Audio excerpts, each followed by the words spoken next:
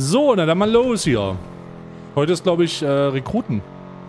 Heute kommen neue Bewerber rein. Und es gibt immer noch keinen Schnee. Wie ist Batman?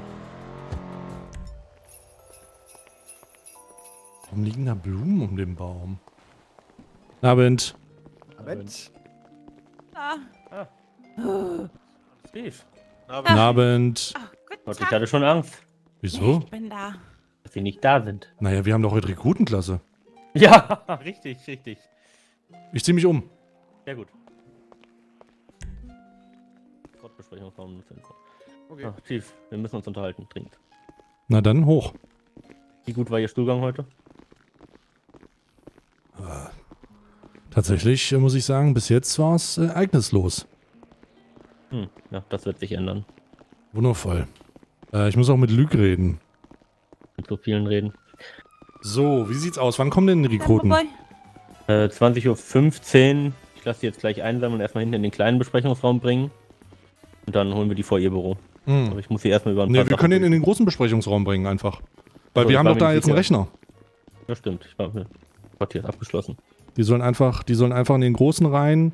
Äh, da können Ja. die sich auch beschäftigen und dann ist das in Ordnung. So, da kommen Also, Sie mal her. Was ist los? passen wir auf. Also, Moment, stopp. Ich muss kurz mein Handy überprüfen. Okay, wöchentlich überweisen, Kadetten bezüglich Eastgate, Gespräch.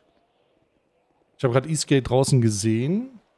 Ja, weil er die die ganze Zeit nicht erreicht hat, hat der Walkow gefragt, ob der bis sie da sind wieder Dienst machen darf. Walkow hat das genehmigt.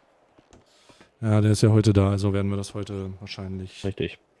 ähm, terminieren. Okay.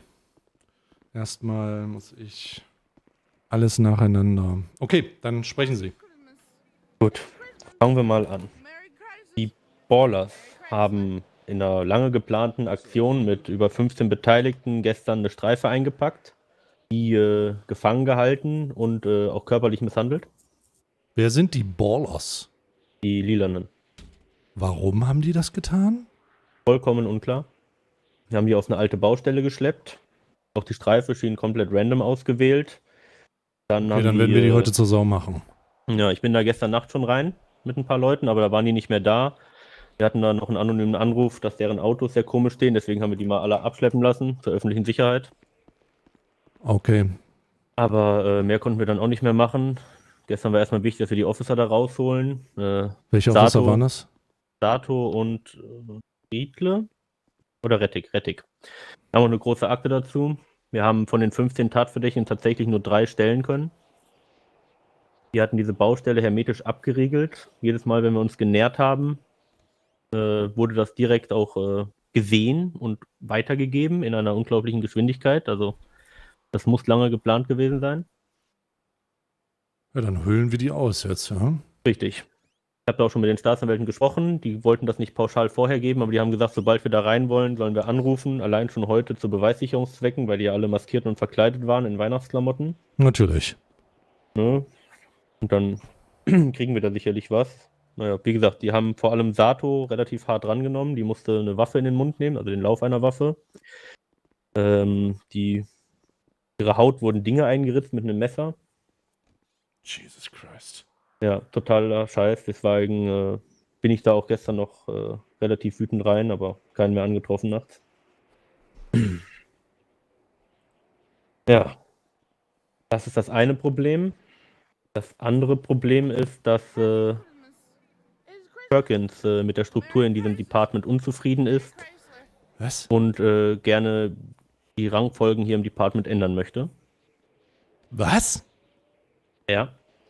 Er hat dafür versucht, äh, Walkow auf seine Seite zu ziehen. Er hat Walkow zu einem privaten Termin eingeladen und hat dann gesagt, äh, er wolle nicht, dass äh, ich ihr Nachfolger werde und ich bin in meiner Position sowieso falsch und äh, er wolle Walkow helfen, mich abzusägen. Wann hat dieses Gespräch stattgefunden? Am 15. oder 16. Am 15. Oder 16. Walkow ist leider gerade nicht da, sonst hätte er das jetzt nochmal vor Ihnen ausführen können. Ich hatte eigentlich gehofft, dass er schon da ist. Okay, ich muss mit Walkow sprechen. Richtig. Dann äh, hat der Richter Doyle gerichtsfeste oder belastbare Aussagen bekommen, dass zumindest mal ein Abteilungsleiter des SDs äh, mit Kriminellen zusammenarbeitet. Ja, dann soll dann äh, soll das. Sobald Moment. er in den Dienst kommt, Hm, will der da zugreifen. okay, okay. Ähm, also, wir haben jetzt die Sache bei den Ballers, wir haben äh, eine interne Situation und was noch? Das sind die beiden großen Dinger. Dann gab es irgendwie einen Anruf, als ich nicht da war, auf die Leitstelle von der Stadtverwaltung oder sowas, dass Derek Holloway das Land verlassen musste. Oh ja, da habe ich auch ein Pager-Information bekommen, dass der äh, äh, irgendwie ausgewiesen wurde oder sowas. Ähm, auf jeden Fall, ähm, dass ich den kündigen soll. Ja, ja. Genau. Ich habe seine Personalakte dann gelöscht. Ja, ja, alles in Ordnung. Das ist bekannt. Ja. Gut. Dann, ich habe Ihnen die Namen der heutigen Rookie-Class schon geschickt. Ja, Würde Ihnen jetzt auch noch die aktuell freien Nummern geben. ja. Schicken Sie die auch einfach. Genau, die schicke ich Ihnen auch. Dann müssen wir nur gucken. Hat das Volkov gemeldet? Ja, der ist zu mir gekommen. Deswegen hat das auch so lange gedauert, weil er erst mit mir reden wollte. Wollte mich da ins Vertrauen ziehen, weil er nicht wusste, wie er reagieren soll. Perkins hat ihm gesagt, er soll sich innerhalb von einer Woche entscheiden. Was wollte er denn von er- Perkins? Also was hat, wollte Perkins von ihm? Was, was, was war die Forderung? Also, Perkins dachte laut Volkov, dass er Volk dass Perkins Volkov zum Deputy Chief für das Department hier unten machen möchte. Perkins dachte nochmal. Nochmal bitte. Also, Perkins war der Meinung, er hätte gehört, ich solle dieses Department hier übernehmen. ja, Was komisch ist, weil außer uns beiden weiß davon ja noch keiner. Vermutung Aber- ist egal. Ja, auf jeden Fall findet er das schlecht und möchte lieber, dass Walkow das macht. Und er möchte die Doas zusammenlegen und auch dabei sollte Lück ihm dann noch helfen, aber das ist eine andere Geschichte. Mhm.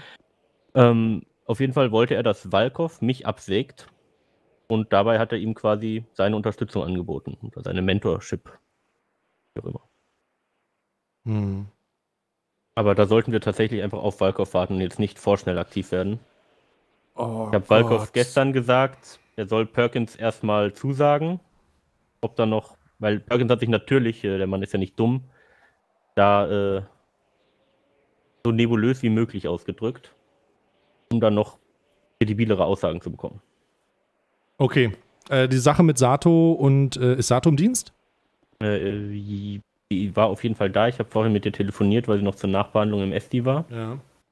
Wie geht's dir? Kann nicht den Umständen entsprechend. Die ist psychisch natürlich relativ angeschlagen, Scheiße. aber sie wird heute auf jeden Fall nur Innendienst machen. Okay, lassen Sie uns erstmal die Rekruten machen, wenn die da sind. Schicken Sie mir noch die Ich Nummern. gerade die Nummern. Ich muss noch zwei da rausnehmen. 19 ist noch nicht frei, die müssen wir noch frei machen. Und die 33, die beiden Kollegen sind nämlich schon eine ganze Weile nicht da. So, aber das sind erstmal die aktuell freien. Oh, Not weggedrückt. Richter Doll, der will auch mit Ihnen reden. Hm. Richter Doll. Die haben mich angerufen, ich habe sie weggedrückt, jetzt habe ich sie zurückgerufen. Ja, richtig. Der Chief wäre jetzt auch da, falls Sie nochmal mit ihm reden wollen. Okay. Ist denn der Sheriff, den Sie festnehmen wollen, im Dienst?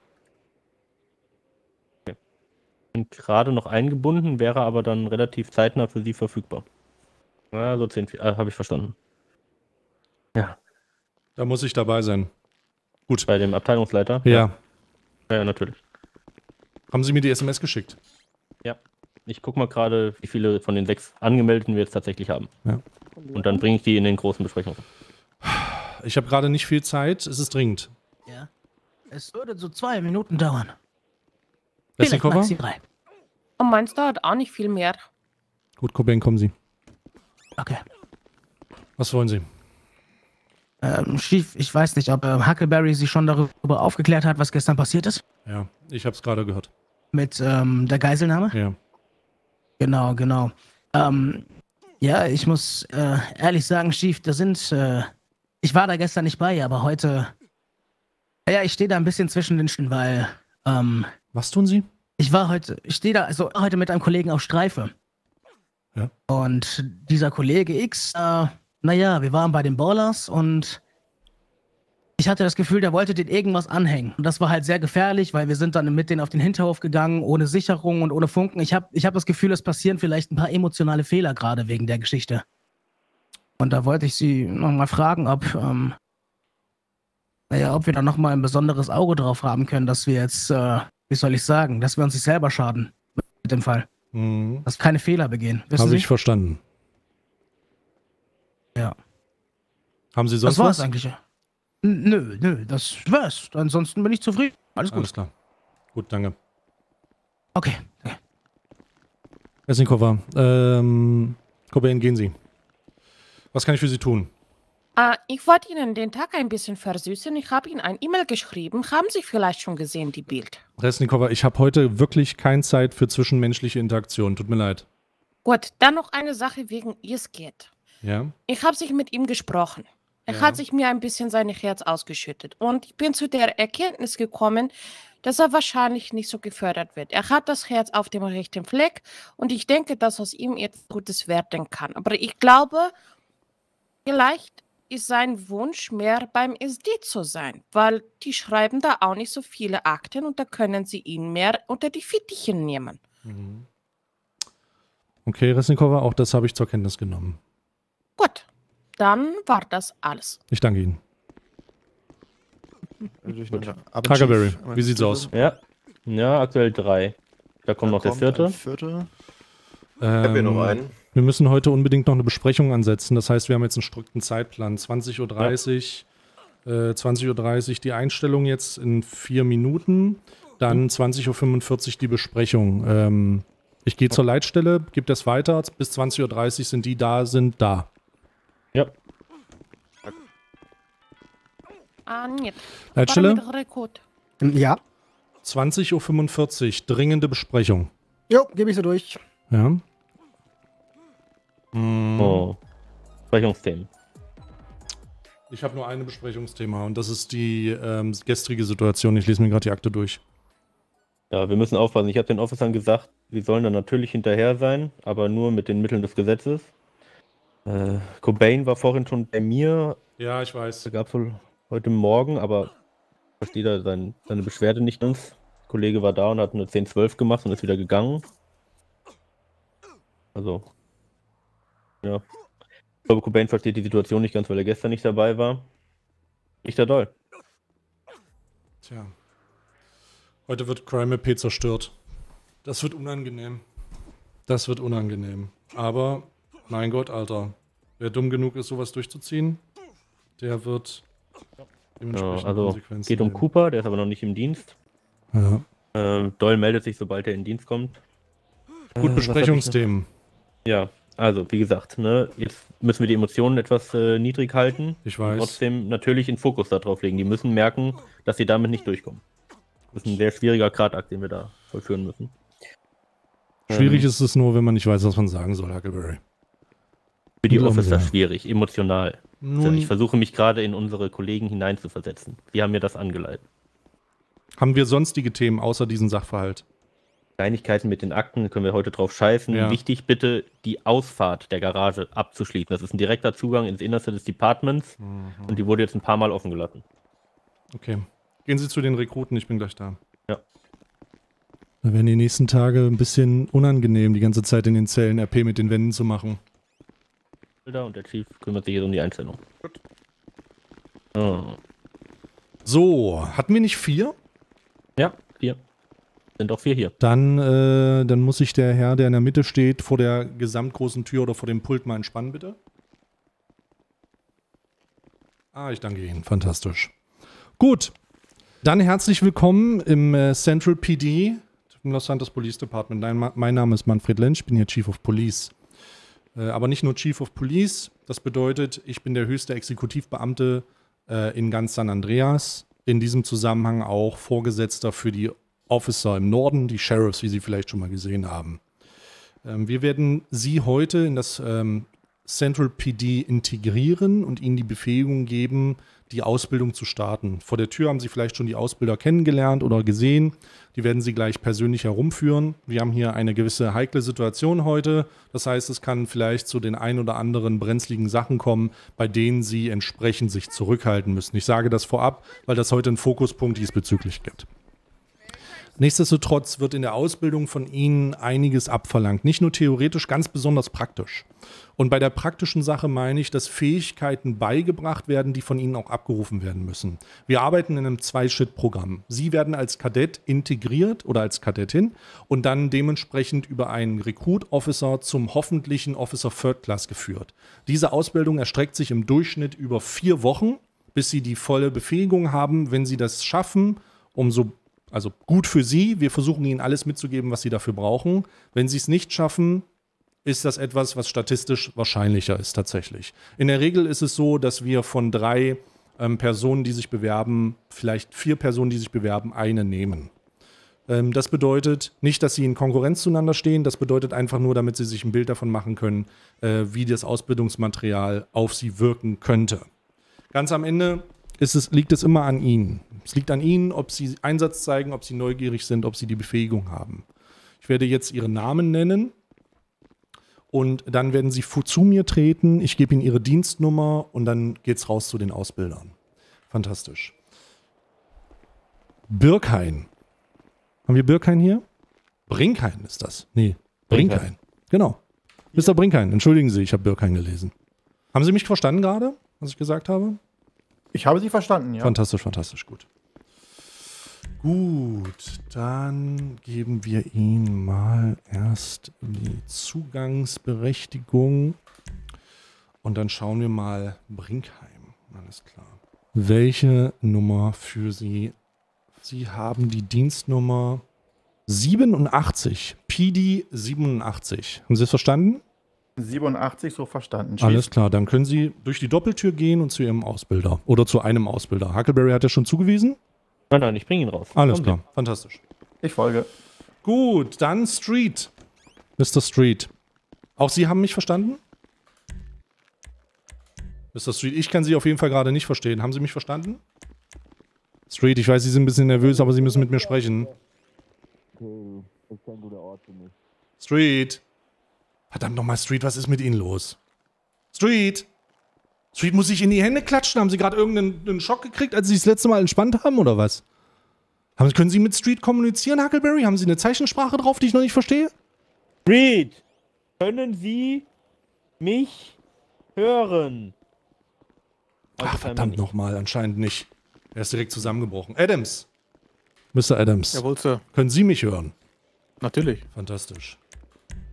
Gut. Adams. Ihnen gebe ich ebenso die Berechtigung. Fantastisch. Und dann schauen wir mal, welche Dienstnummer wir für Sie haben. Dienstnummer PD 60, 60. Alles klar, ich danke. Alles klar. Huckleberry, bringen Sie ihn raus. Und last but not least, Frau Belun. Fantastisch. Gut, dann geben wir Ihnen auch mal die Berechtigung. Belun habe ich richtig ausgesprochen, ja? Belun, stimmt. Alles klar. Gut, dann schauen wir mal. Dienstnummer 59. PD 59, 59. 59. Alles klar. Okay, so. Dann viel Erfolg, Frau Blum. Dankeschön. Ja. Kollegen kommen dann auch gleich alle reinspaziert. Naja, der Street hier, der geistert hier irgendwie noch rum. Ja, der hat schon angekündigt, dass ihm nicht so gut geht und dass er deshalb heute eigentlich nur die Marke abholt und erst morgen loslegt. Street, wie ist die Lage? Entschuldigung. Ja, ja. Wie gesagt, ich bin etwas krank. Das ist ja kein Problem, ja. Street. Ich gebe Ihnen hier schon mal die Marke. Ja, meine PD-Nummer hätte ich noch gerne, Sir. Die kriegen Sie auch, bleiben Sie mal ruhig. Merkst du, Sie haben es eilig. Ich verstehe ja. das. Wenn es drückt, dann drückt Ja, ja, wir kriegen das hin. Diese Kopfschmerzen, dann noch Hustanfälle heute gehabt. PD-Nummer 39.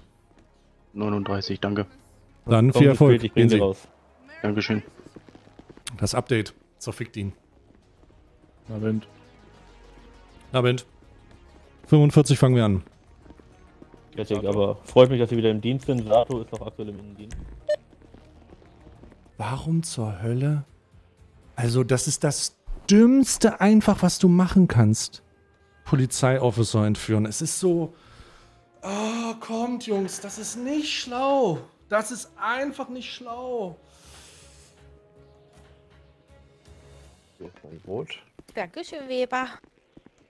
Herzlich willkommen zur täglichen Besprechung des Los Santos Police Departments Central PD. Heute mit zwei Themen. Eins davon ist mir sehr, sehr wichtig. Das erste Thema, ich hake es jetzt einfach mal ab, weil das auf meiner Liste steht, ist ähm, bei der Ausfahrt aus der Garage. Achten Sie bitte darauf, dass Sie die Garage auch schließen, weil das ein Direktzugang zum Herzen unseres PD ist. Also wenn Sie mit den Fahrzeugen rausfahren, schließen Sie es bitte zu. Gut. Das zweite. Wie Sie sicherlich mitbekommen haben, gab es gestern eine Situation. Eine Situation, bei der zwei Police Officer von uns entführt wurden. Als Geisel genommen. Von kriminellen Energien da draußen. Eine Kollegin und ein Kollege. Officerin Sato und Officer Rettich.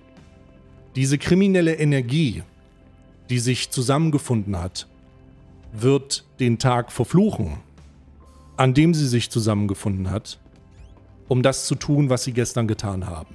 Aber das, was wir tun werden und das, was wir tun müssen, wird im vollen Umfang rechtmäßig in Einklang mit dem Gesetz von San Andreas sein. Mit dem Gesetz von Los Santos, das sie alle zu dem Officer macht, zu der Officerin macht, die sie sind. Wir werden uns nicht, wir werden uns nicht, ich wiederhole das, auf dasselbe oder ein ähnliches Niveau herunterlassen. Hier ist nicht Gleiches mit Gleichem vergolten. Wir werden unsere Kraft bündeln, um gemeinsam entsprechend vorzugehen. Aber ich rate Ihnen, trotz der emotionalen Situation und das, was ich gelesen habe und was ich gehört habe, ist schrecklich, bieten wir keinen Raum für überemotionale Entscheidungen von Police Officern. Sie konzentrieren sich auf ihre Arbeit. Sie sind die Exekutive von Los Santos, von San Andreas. Sie sind das Gesetz und sie vertreten das Gesetz. Ich werde nicht zulassen, dass sie im Rahmen ihrer Uniform, wie sie es ausüben, was anderes sind. Aber lassen Sie sich eins gesagt sein. Sprüche klopfen ist vorbei. Wir haben gewarnt, wir haben gesprochen, wir haben deeskaliert. Die rote Linie der Deeskalation ist übertreten. Niemand fickt mit dem PD. Cortez, seien Sie ruhig. Okay. Hier geht es nicht um, wer fickt mit wem.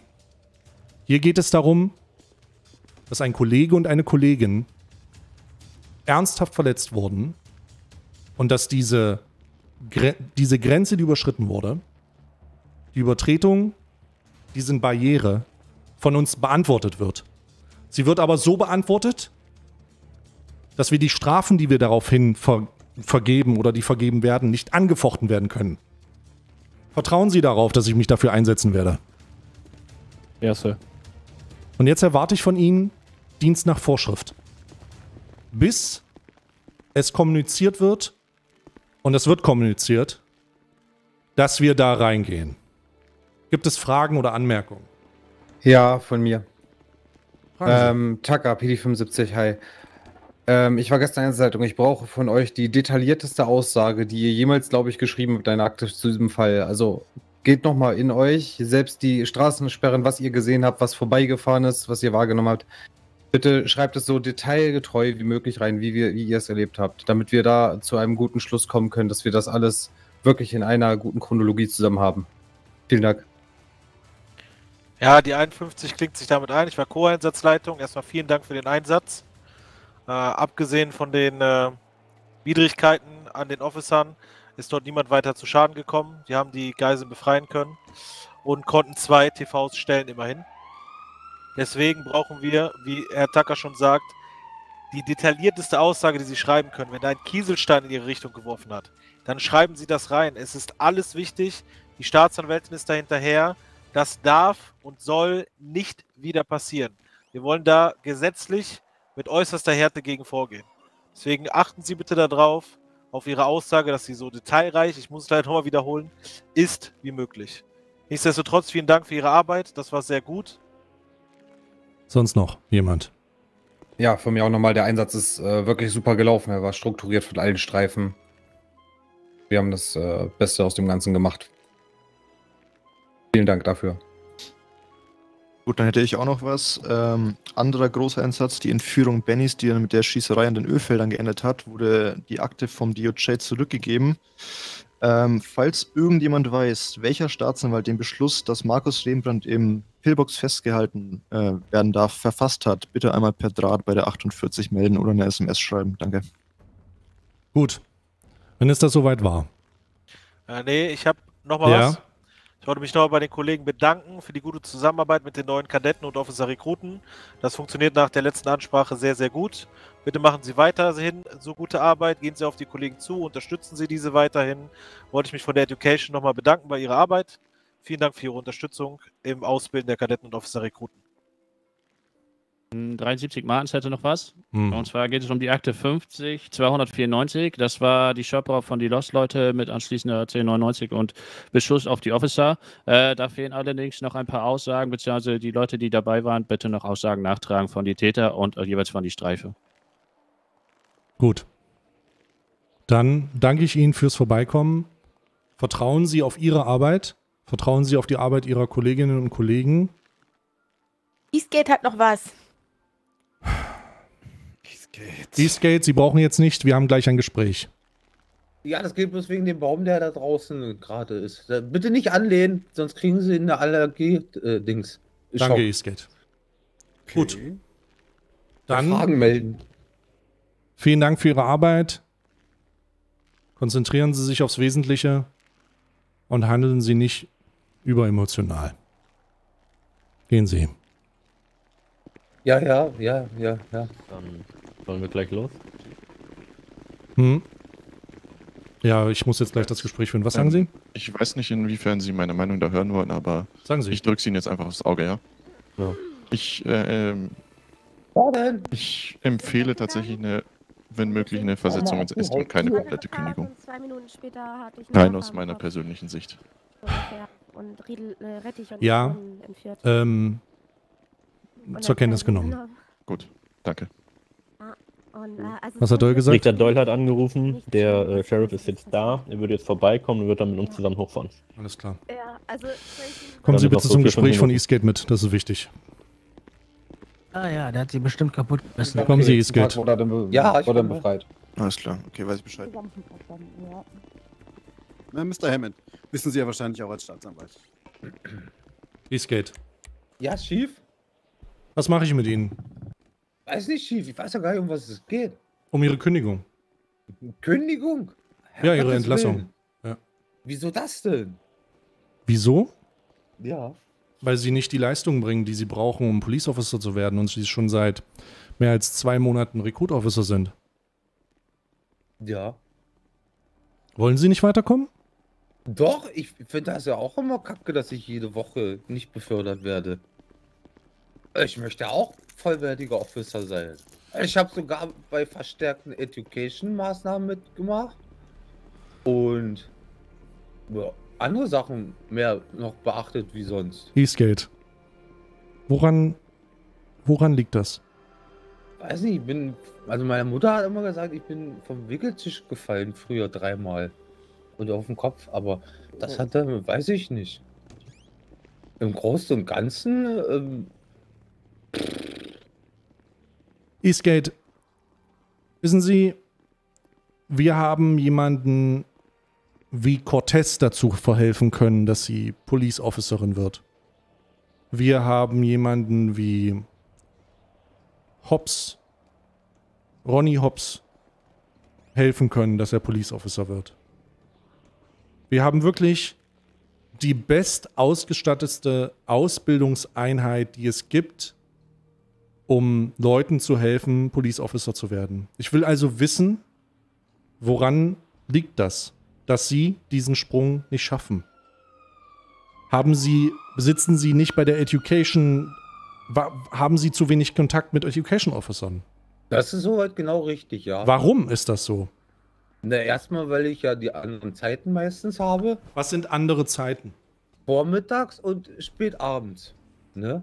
Das, was ich Ihnen damals schon im alten PD gesagt hatte, äh, dass ich ja dann immer erst so die Nachtschicht mache. So 2 Uhr oder vormittags, so ab 11 Uhr und unter der Woche ja nie äh, zur Primetime da bin, wenn hier die Luft brennt, ne? Und dann da, wo auch die ganzen Education-Leute da sind, ne? Und da habe ich aber auch schon vermehrt drauf geachtet, wenn am Wochenende irgendwelche Sachen sind, dass ich dran teilnehme. Ich wollte auch mal bei einer Geschichte dran teilnehmen. Da wurde mir dann gesagt, nein, wir sind jetzt schon voll, das geht jetzt nicht mehr, ne? Habe ich das so hingenommen, ne? Und äh, mehr als mich da einbringen kann ich ja nicht, ne? Einmal war ich auch mit dem äh, Herrn Reed unterwegs, der wollte mit mir auch Education machen, da war ich aber dann gerade nicht mental in der Lage dazu. Da habe ich mich dann auch nochmal entschuldigt bei ihm danach und habe gesagt, wir können das gerne nochmal wiederholen. Ich würde ja gerne was von Ihnen lernen. Und äh, da hat er sich da auch nochmal bedankt und hat dann auch gesagt, ja, das kriegen wir dann nochmal hin, auf jeden Fall. Ja. Und ich habe ja auch so äh, trotzdem äh, gute Arbeiten geleistet. Ne? Mit verschiedensten Sachen, mit Zum verschiedensten Beispiel? Bürgern. Na, zum Beispiel habe ich, äh, das, was so für mich persönlich das größte Ding war, war, wo ich hier äh, die fünf Luxusautos wiedergefunden habe von zum Beispiel von den Richtern. Da waren zwei von Richtern dabei und noch von anderen privaten Menschen. So richtig teure Autos, aber im Wert von, glaube ich, einer Viertel, Dreiviertel Million oder sowas. Ja, da war genau auch, da waren auch Situationen, die habe ich dann den Kollegen gesagt, dass, äh, also das war eine Situation, da haben wir Verdächtige in der Garage gef- getroffen, beobachtet und die haben dann gerade ein Auto aufgebrochen. Da haben wir Verstärkung gefunkt, die kamen, dann sind die flüchtig ge- gewesen, die Leute. Wir konnten einen festnehmen und die andere Streife, die dazu kam, äh, hat jemanden auch festgenommen und den haben die dann bloß einen Platzverweis erteilt, ne? Ohne mal nachzufragen, was da war. Und ich konnte dann aber auch nicht. Ist ja auch egal, ich muss ja jetzt nicht andere schlecht machen, ne? Aber das war halt ein großer Erfolg für mich, dass wir die Autos den Besitzern zurückgeben konnten, zum Beispiel, ja. Das war das Größte, ne? Und dann ja die, die Drogengeschichten, was wir hier am Vormittag schon hatten, ja, oder dass man auch mal, dass ich, ne, dass ich auch mal mit anderen Kollegen, die Hilfe brauchen, da auf die Leute zugehe und denen helfe. Zum Beispiel der äh, Kadett Silver, Van de Silver, den habe ich letztens gut geholfen mit der Akten. Da hat er noch in der Akten geschrieben gehabt und da hat er Wie viele Akten haben gefragt- Sie so geschrieben in Ihrer ganzen Dienstzeit? Was glauben Sie? Boah, warten Sie mal, ich habe ja hier so einen Blog. Ähm, also, ich, wenn ich hier das mal so durchblättere, naja, also ich würde so sagen, über den Daumen geschätzt, so 10, 12, 15 oder sowas. Was haben wir hier noch? Hm, Eastgate. ja. Ich Wollen Sie, weg. wollen Sie Police Officer werden, Eastgate? Natürlich, aber ich manchmal tue ich erst handeln, bevor, also bevor ich denke, ne? Ja, und dann äh, kommen dann immer irgendwelche Reaktionen raus, die, die äh, von anderen Leuten dann nicht so erfreut sind, sage ich mal, wissen Sie? Ja, also die freuen sich darüber nicht so, dass ich das dann so gemacht habe, weil ich dann einen Kurzschluss gemacht habe. Aber äh, ist noch keiner bei zu Schaden gekommen und wird auch keiner zu Schaden kommen. Und äh, im Gegenteil, ich bin eigentlich immer hilfsbereit, zuvorkommt. Okay, ich diskutiere manchmal ein bisschen rum, weil ich nicht jede Entscheidung äh, so positiv finde wie andere Leute, die treffen, weil das auch in, in manchen Situationen nicht so nötig ist, ne? Eastgate, warum, warum glauben Sie, dass Sie Sachen besser einschätzen können als andere Kollegen? Sie sind. Recruit Officer seit zwei Monaten. Ja, aber das Zwischenmenschliche, das Alter, Herr Lenz. Aber das, Sie? aber das, Alter. Zwischenmenschliche, meinen Sie, dass Sie zwischenmenschlich hier so gut abschneiden? Ich, ich nicht mit jedem Kollegen, das habe ich Ihnen schon mal gesagt. Ich muss hier, ich muss, ich will nicht mit jedem Kollegen äh, im Einklang sein. Das, das ist Arbeit hier. Ich will mit jedem Kollegen respektvoll umgehen können. Ich will jeden Re Kollegen verteidigen können im Notfall. Ja, hinter dem stehen, das auf jeden Fall. Aber äh, ich muss nicht im Einklang mit jemand auf der gleichen Welle surfen. Das muss ich nicht. Eastgate, aufgrund der aktuellen Situation, aufgrund der Ja, aktuellen. Situation und folgendem Sachverhalt. Wir haben aus Hobbs einen Officer gemacht. Wir haben aus Cortez einen Officer gemacht. Wir schaffen es eigentlich so gut wie aus jedem zumindest ein Officer Third Class zu machen. Aber Sie sind derjenige, der in seiner Kadettenzeit Gras gekauft hat und es mir gezeigt hat. Ja, Sie sind der je ah. Sie sind derjenige, der eine ganz besondere Art hat. Ich gebe Ihnen jetzt, wir haben den 18.12.2022, eine Frist bis zum Ende des Jahres, um die Education davon zu überzeugen, dass Sie Police Officer Third Class werden. Wenn Sie das nicht schaffen, sind Sie zum neuen Jahr kein Police Officer mehr. Ja, wo ist er? Ich möchte Ihr Bestes sehen, Eastgate. Ich will den Blödsinn beiseite lassen. Ich will den ganzen, diese ganzen Relativierung und diesen ganzen Schwachsinn, ich will es nicht hören.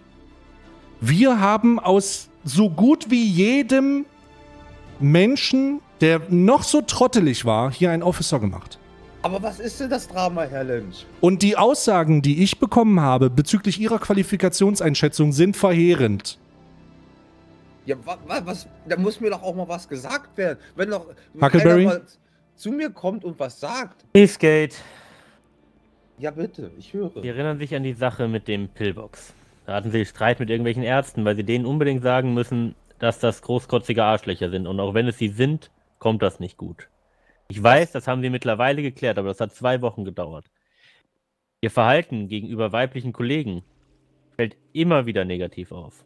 Da sind unpassende und aufdringliche Kommentare, nicht nur gegenüber Kolleginnen, auch gegenüber von Zivilisten. Ich habe hier eine Beschwerde bekommen, erst vor kurzem, wo sie einer Frau gesagt haben, dass man sieht, dass sie den ganzen Tag gerne isst. Ja, aber ich kann ja, ja, äh, man kann doch gerne was essen, das ist ja nicht schlimm. Eastgate, Ja, sehen Sie das Problem? ja.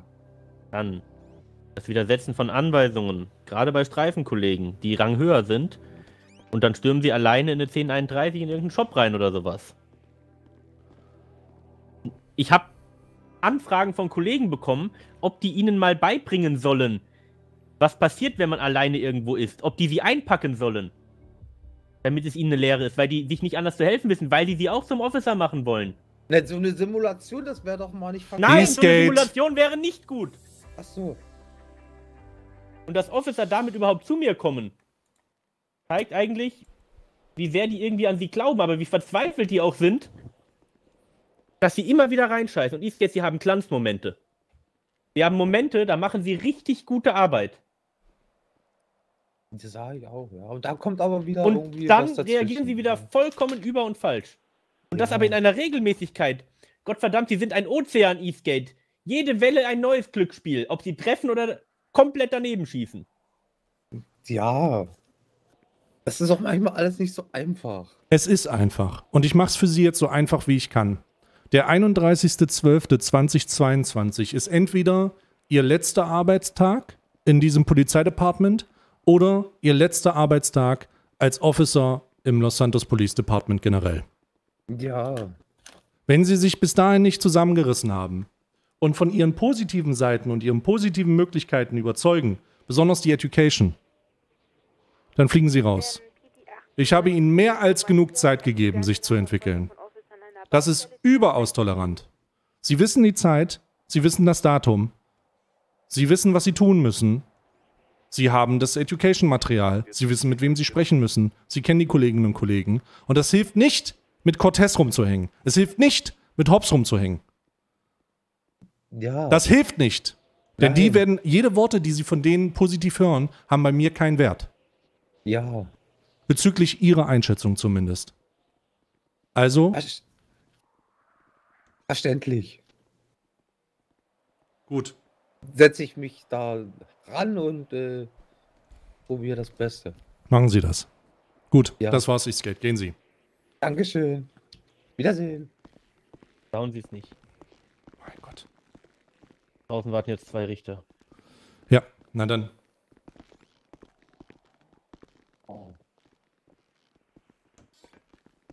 Die reinholen oder ich? Ja, holen Sie die mal rein, den Officer raus.